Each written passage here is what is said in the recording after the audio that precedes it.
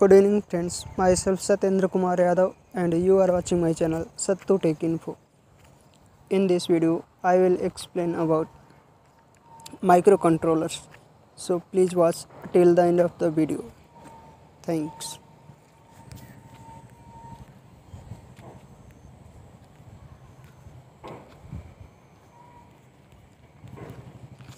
A microcontroller or MCU is a small computer on a single metal oxide semiconductor integrated circuit chip.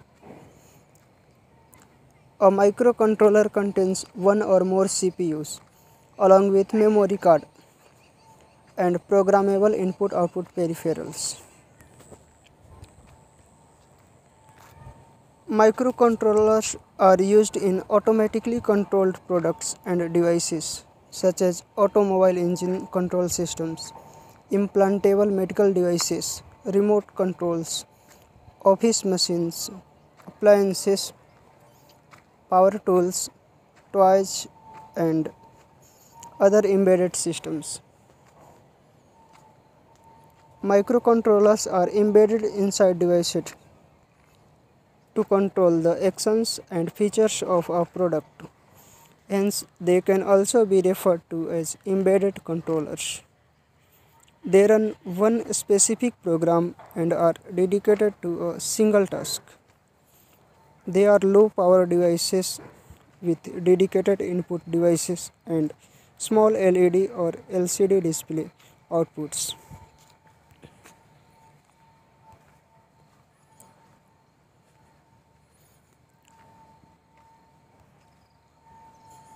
Different applications of microcontroller. First consumer electronics products. Like toys cameras robots washing machine microwave ovens etc second instrumentation and process control. Oscilloscopes multimeter leakage current tester data acquisition and control etcetera third medical instruments four communication fifth office equipment sixth multimedia application seventh automobile these these are the applications of microcontrollers.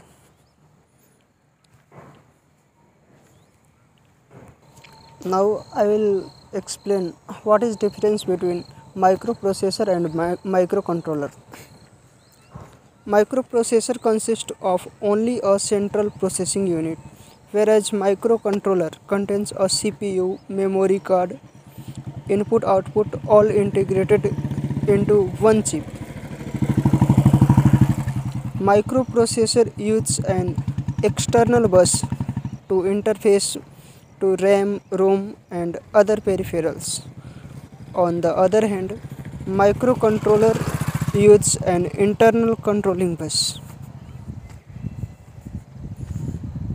So these are the difference between microprocessor and microcontrollers.